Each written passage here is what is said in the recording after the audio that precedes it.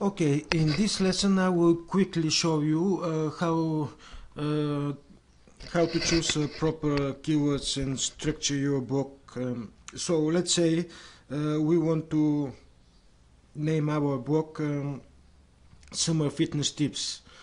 So what we do, we go either to Wonder Wheel or related searches. We shall do the Wonder Wheel now. Uh, so uh, I'm not going into the keyword research now, uh, keyword research part here, but uh, I'm going to show how if you don't have any ideas of uh, categories in for your blog, then I will show you a way to come up with some.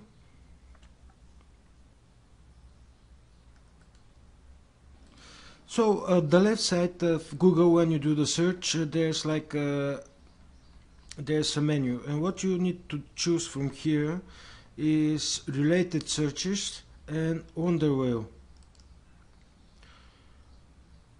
so let uh, so as you see we get some searches that are closely related to the term. Let's say our book will be summer fitness tips.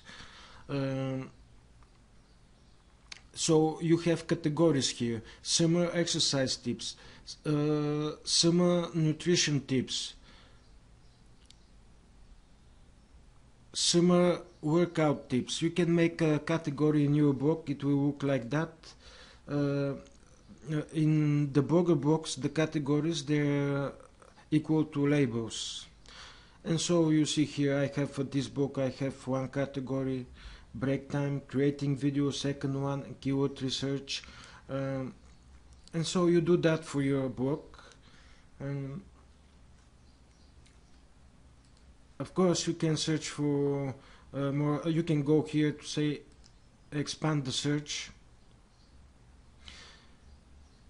Uh, and you can make a label or category like summer workout schedule or summer workout plans uh, that will help.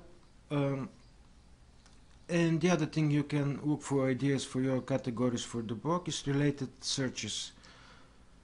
And you you have a lot of here. I'm not going in, in deep into it. So this is good for blogs like a normal micro niche blog so even for auto blogging it's very good for your blog to be structured. This will add human touch uh, to it and this is one actually of the uh, things you can do to make it more google friendly after the panda update.